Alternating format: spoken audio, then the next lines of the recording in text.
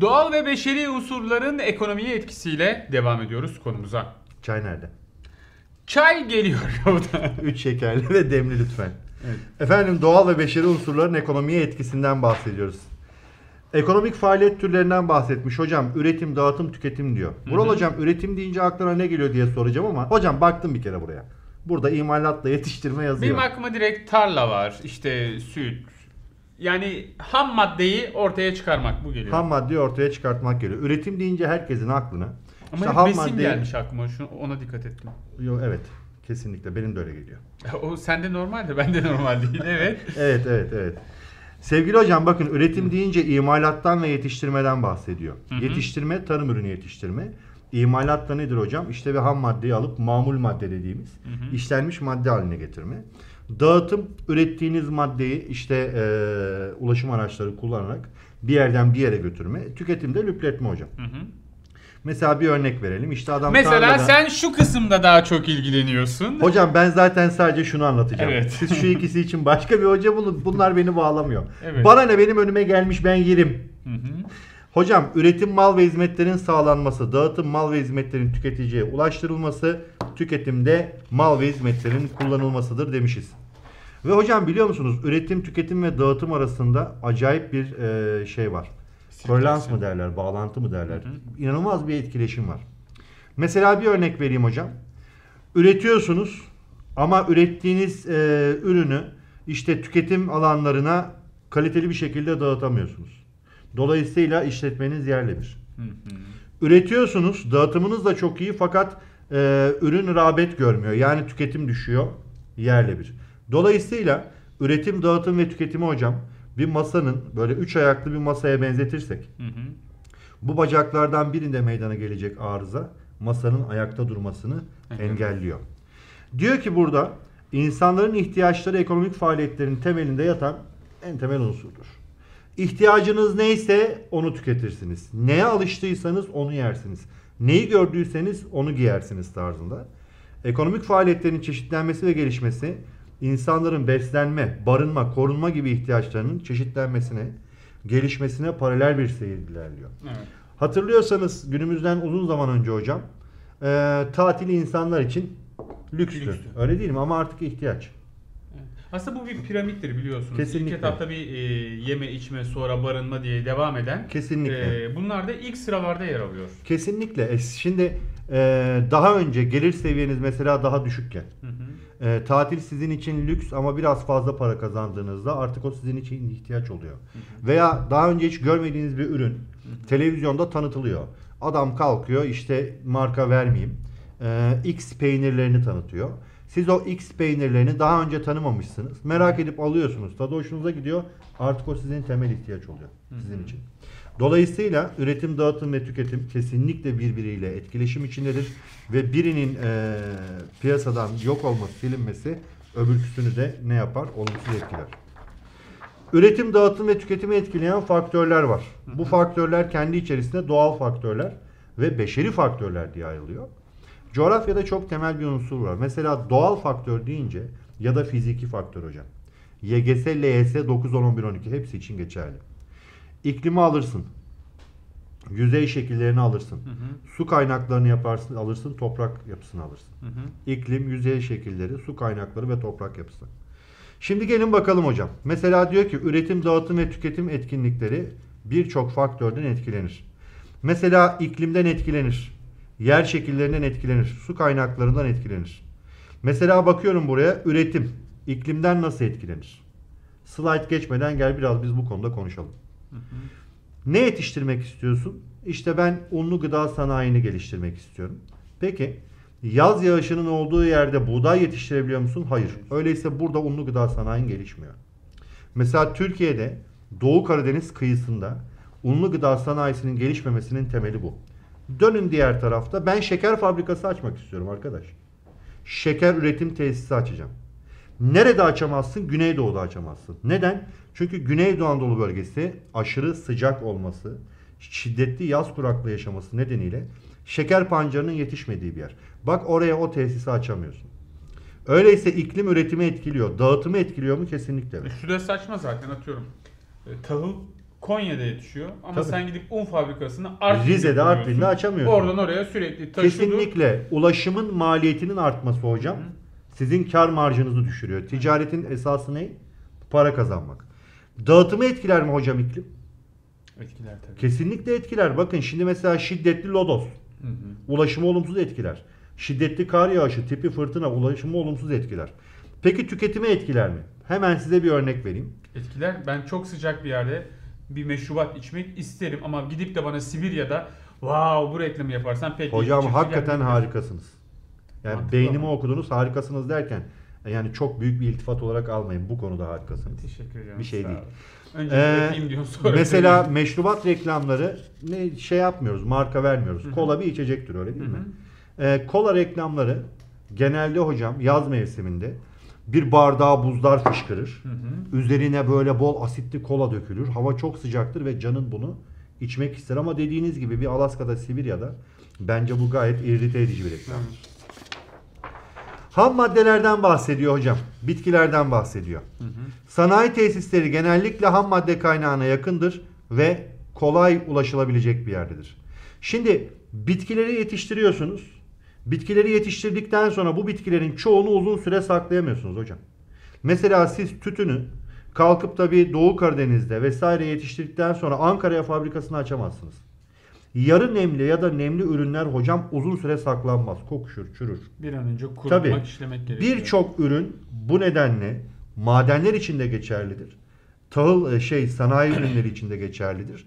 Sebze ve meyvecilik için de geçerlidir. İşleme tesisi yani fabrika tarlaya yakın kurulur ki neyden kazanalım? Ulaşımdan kazanalım. Mesela hocam burada su kaynaklarından bahsetmiş.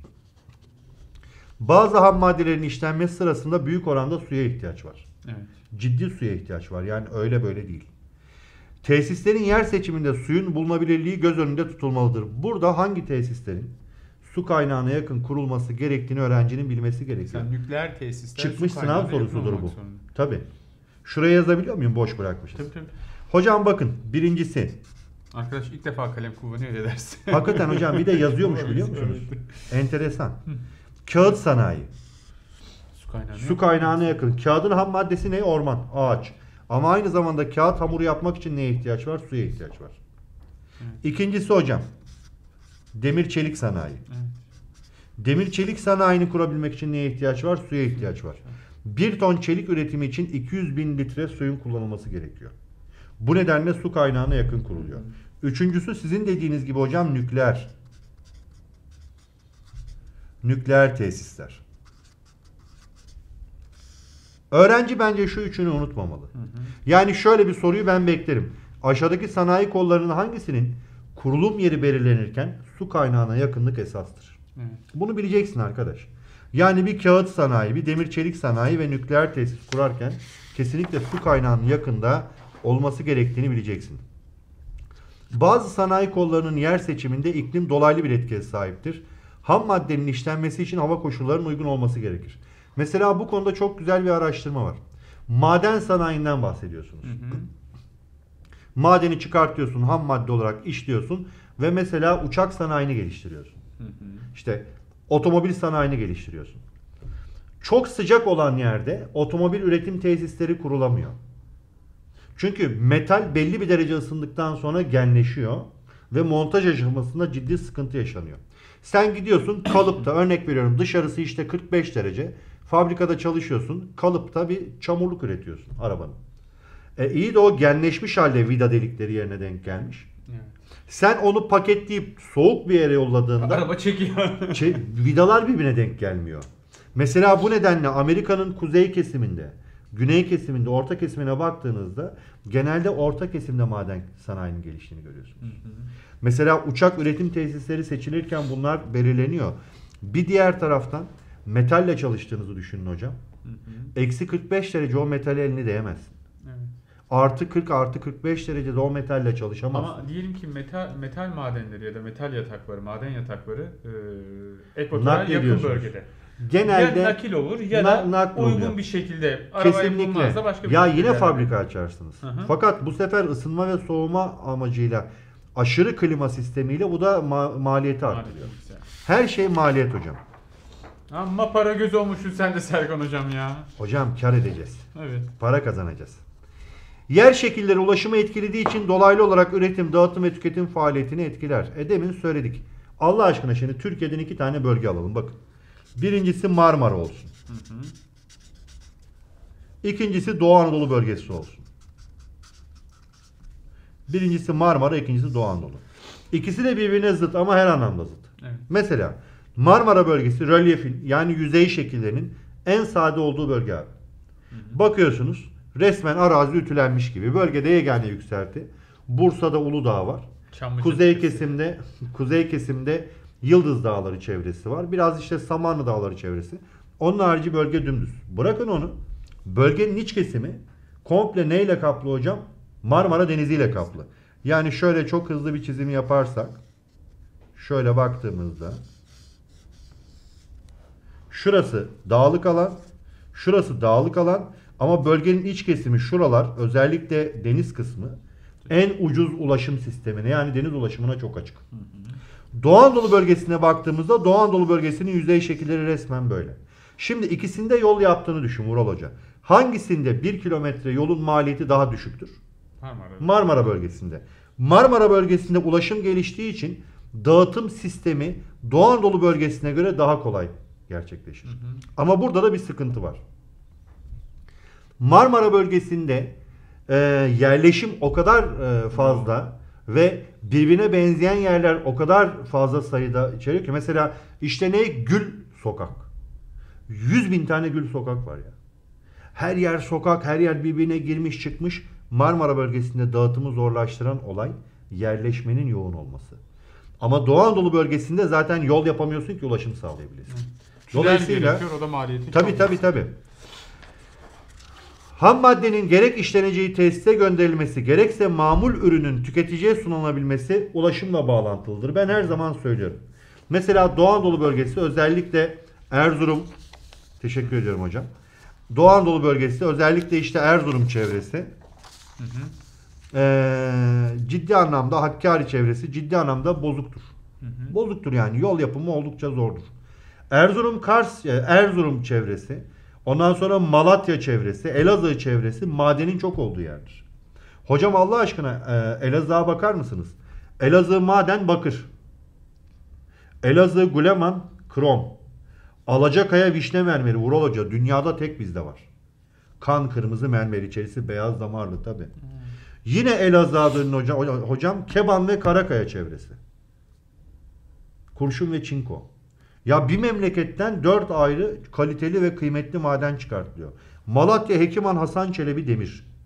Fakat yine de Elazığ Malatya çevresi bu kadar yoğun maden kaynağına sahip olmasına rağmen hak ettiği kadar gelişememektedir. Nedeni de ulaşımdır.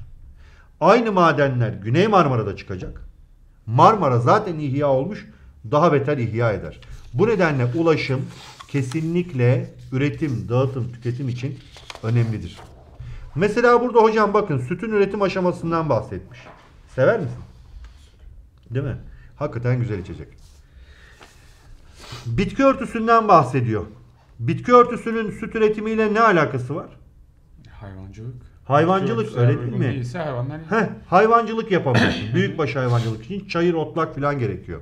Burada besi ve ahır hayvancılığından bahsetmiyoruz. Otlak ve mera gerekiyor.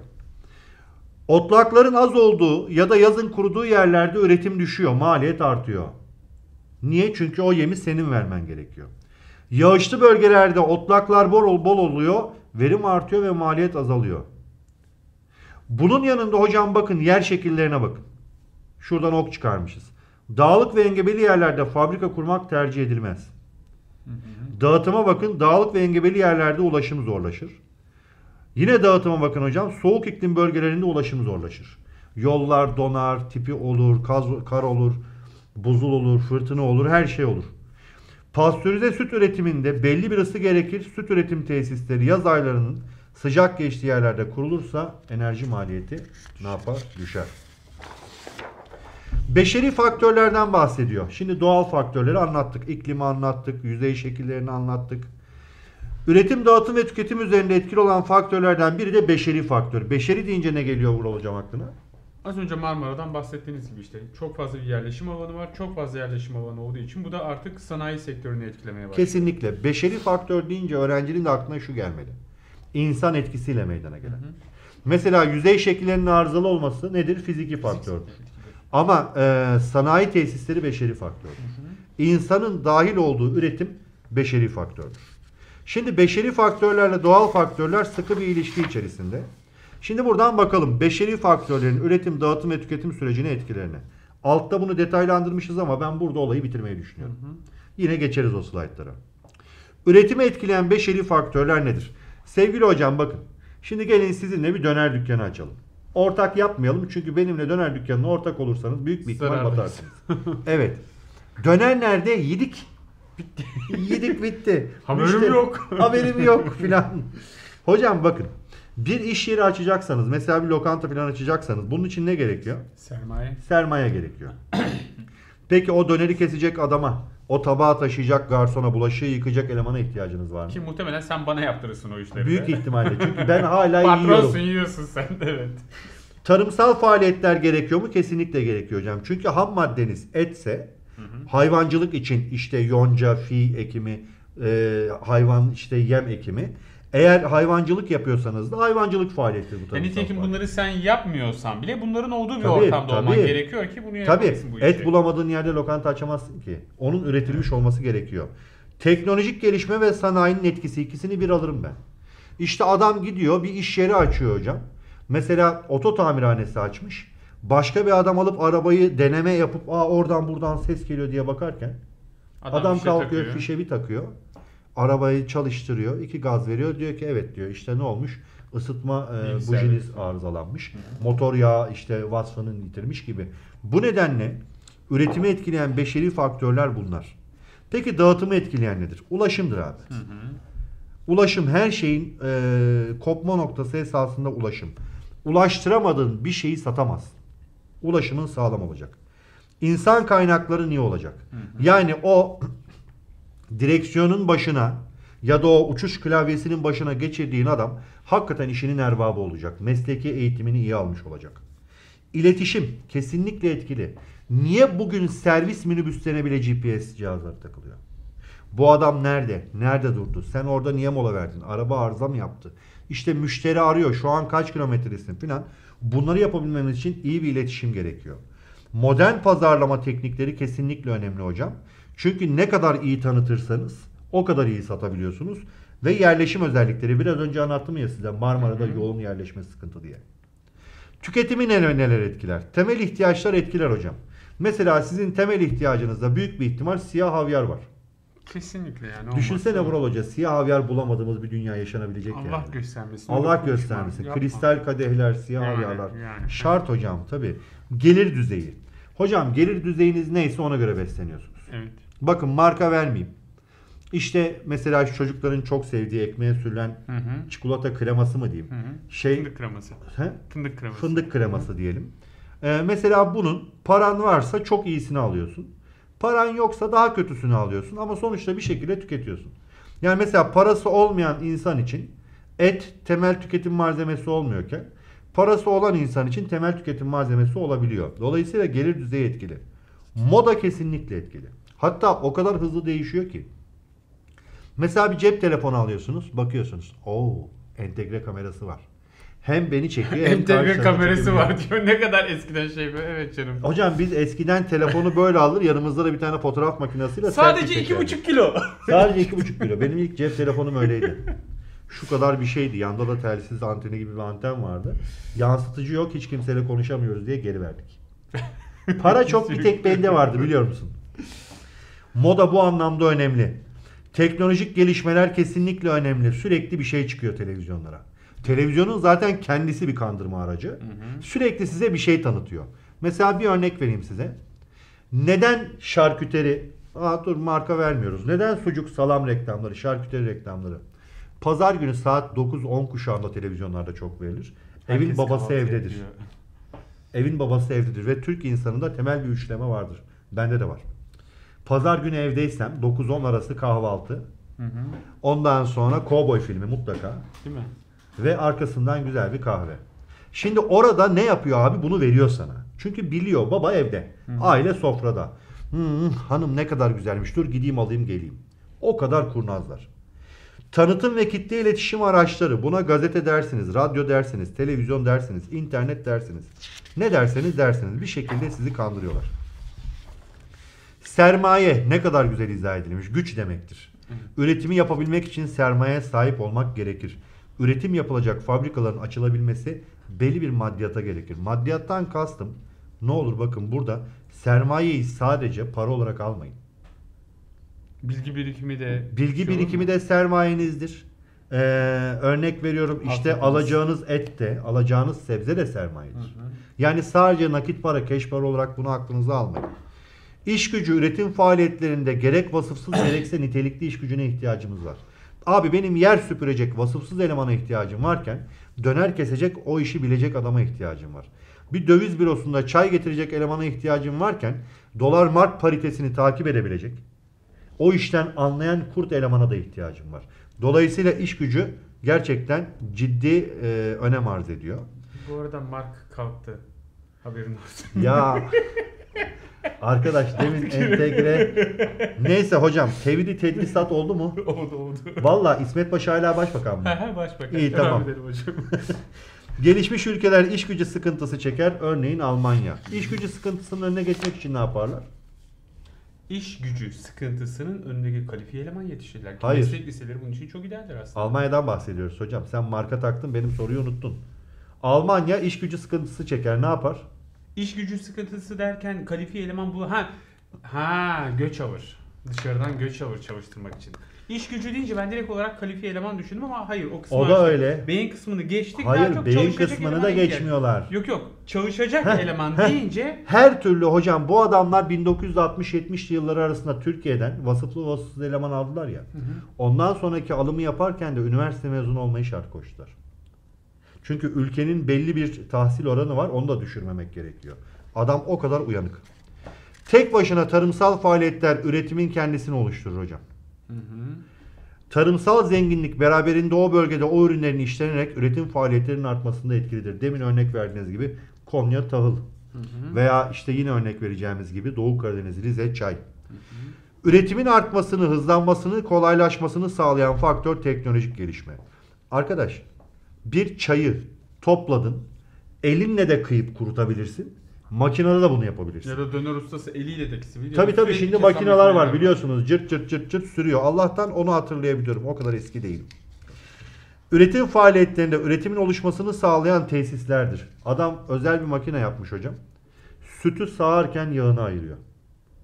Hayvanın memesinden süt çıkarken makineye geçerken yağını ayırıyor. Tereyağını yapıyor. Light sütünü o şekilde çıkartıyor.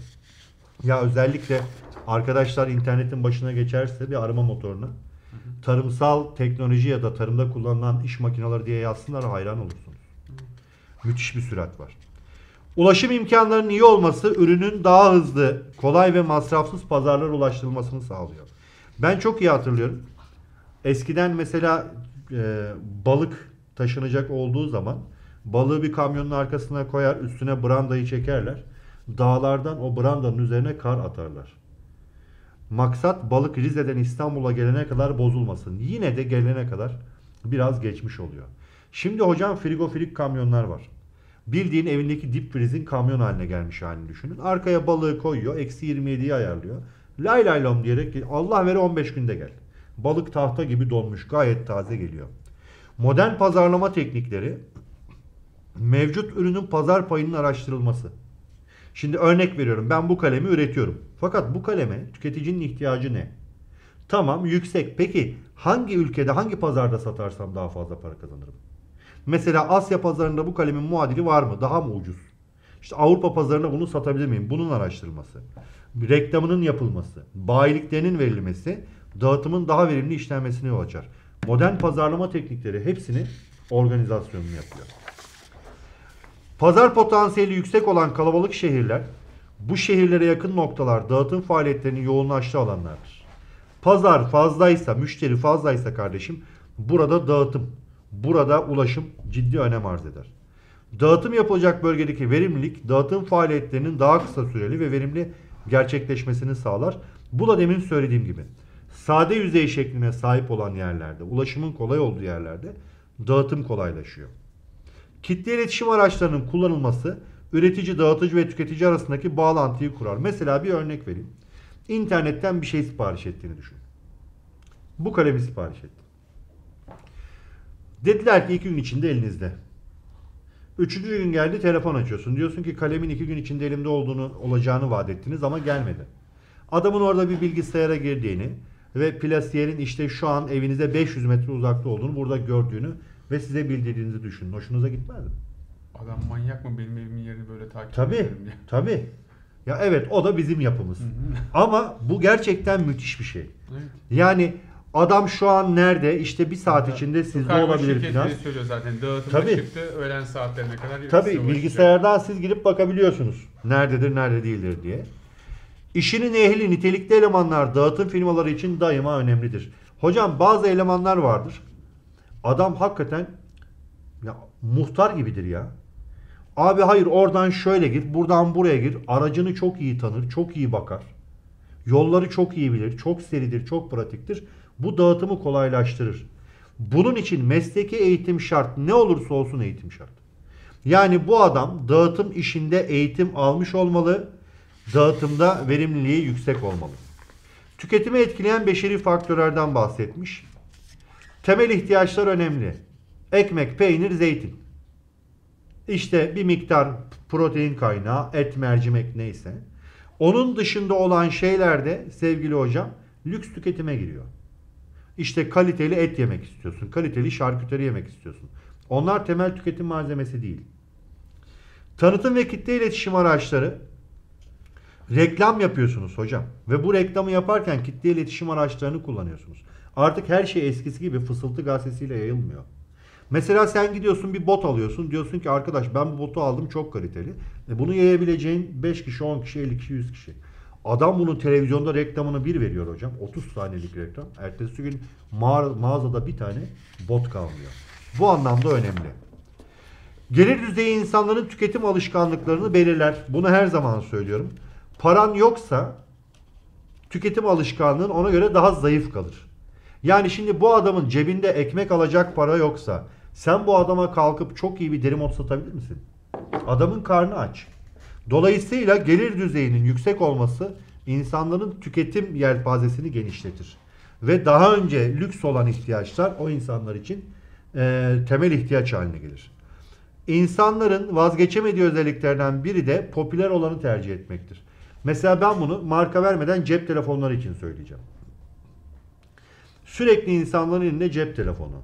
Habire anlatıyorlar. İşte parmağımı şuraya basıyorum. Şuradan şunu yapıyor. Buradan bunu yapıyor. Ya arkadaş cep telefonunun temel mantığı aramak ve mesajlaşmak. Ama tabii ki teknoloji gelişti. İçine fotoğraf makinesi eklendi. Hesap makinesi eklendi. Hatta bu şeyler navigasyon cihazları eklendi. Sürekli bir şey çıkıyor. Vallahi neler olmuş ya. Ben en son ankesörlü telefonla yengemi arıyordum. Yenge evde misiniz? Annem size gelecek. Onu getirdiler şu kadarcık yaptılar. Tıp çok ilerledi hocam. Yenge görüntülü artık. Yenge evet. Yengem benden daha modern. Enteresan. Tıp çok ilerledi hocam. Evet evet. Teknolojik gelişmeler sonucu ortaya çıkan yeni ürünler tüketim için tetikleyici bir rol oynuyor. Yeni ürünlerin piyasaya sürülmesi insanların tüketim çalı alışkanlıklarını etkiliyor. Ne gibi? Daha ince telefon. Bu telefon ondan bir buçuk milim daha ince. Ben bunu ayırt edemiyorum ki. Yo tabii ki artık şeye giriyor. Yani işin abartı kısmı. Tabii Ama canım. Tabii bu da öyle bir lanse ediliyor ki reklamlarda insanlar gerçekten tam onu alacak yenisi mi çıktı onu almam Hocam lazım. ben bu konuda size söyleyeyim. Sizin bu telefon konusunda eee, gerçekten eee, işinizin ehli olduğunu biliyorum. Çünkü ben 7 sene bir telefonu kullandım. Artık o öldü. Evet. Öldükten sonra diğer telefonu Evet, aldım. evet. Yedi Hocam şimdi sene. telefon satmışlar. Telefonun ince ya yan tarafı. Orada da görüntü varmış. Hı hı. Yani görüntü yana doğru devam ediyor ve Ekran bu %3 müthiş bir mı? müthiş bir ya ne yapayım yandan mı seyrediyorum ben bunu? Ya önden göremiyorum. 43 yaşıma gelmişim. Gözler zor görüyor. Yanını kim görüyor onun? Boş verin onu. Mesela burada hocam pamuğun işlenmesinden bahsediyor. Pamuk bitkisinin tohumunun ekilmesi üretim midir? Üretimdir. Üretimin Üretimdir. bir aşamasıdır. Evet. Çapalıyorsun, tarladan topluyorsun. Bu üretim midir? Evet. Ham madde elde ettin. Pamuğu tesislerde işleyip iplik haline getiriyorsun ve dağıtıyorsun. Evet. üretim. Ne yaptın? Sanayide kullandın. İpliklerin dokunması, kumaş haline getirilmesi, insanların ihtiyaçlarına uygun bir şekilde getirilip pazarlara sunulması. Tarladan pamuğu aldınız. Ondan sonra bunu sanayi tesislerinde ürettiniz. Giyecek haline getirdiniz. Kamyonlarla veya işte ulaşım araçlarıyla pazarlara götürdünüz. Ne yaptınız? Ürettiniz, dağıttınız ve adam aldı tüketti. Bu kadar basit. Diyerek bitirelim hocam.